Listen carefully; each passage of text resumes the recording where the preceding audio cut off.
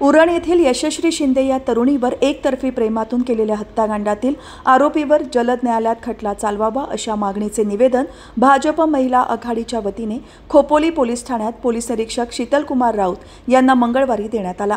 यावर प्रतिक्रिया देत महिला मोर्चा जिल्हाध्यक्षा अश्विनी पाटील यांनी सांगितले की यशस्वी शिंदे पनवेल येथे निर्घुणपणे हत्या करून तिच्या देहाची विटंबना केली होती.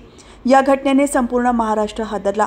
वारंवार घडणाऱ्या या घटनेमुळे महिला वर्गात चिंतेचे वातावरण असून अशा प्रकारची प्रवृत्तीला पोलीस खात्याने अवल घालण्यात यावा शासनाने यावर गांभीर्याने विचार करावा असे सांगितले.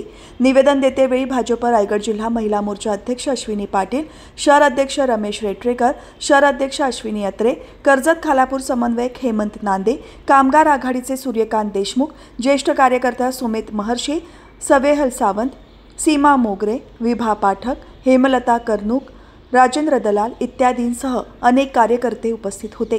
पोलीस ठाण्यात निवेदन देण्यापूर्वी भाजप कार्यालयात यशस्वी शिंदेला श्रद्धांजली वाहण्यात आली.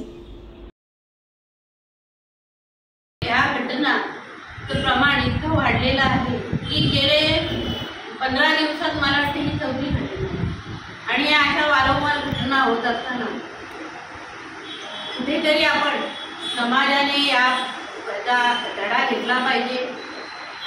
प्रत्येक आईवडील असतील समाजातला आपला बंधू भाऊ असेल आपले काका मामा आणि सर्व स्त्रिया भगिनी माझी बहिणी असतील काकी मग या सगळ्यांची जबाबदारी आहे की आपल्या मुलांवरती चांगले संस्कार आणि थोडंसं लक्ष घालणं फार जरुरीचं आहे.